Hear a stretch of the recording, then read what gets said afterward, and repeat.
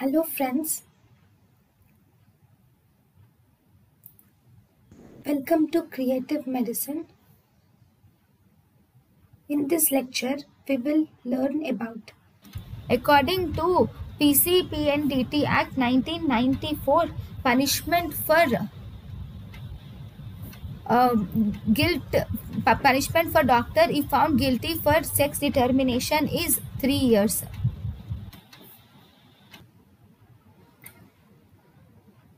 Thank you and thank you for watching.